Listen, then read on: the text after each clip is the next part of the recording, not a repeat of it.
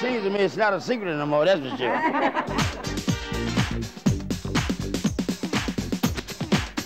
There's no airbrushing, there's no retouching, it's just you, you're out there in the runway. So we really looked for women that had a lot of personality, a lot of self-confidence.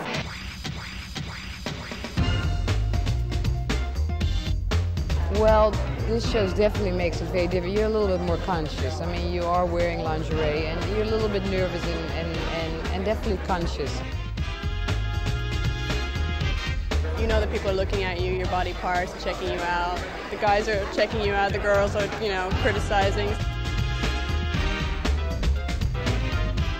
They enter like that as a trio. You're in the center, but you show first. They asked me, you know, to wear some kind of revealing stuff, and I was like, no, I'm not going to have my butt shaking on that runway and everybody looking at the cellulite.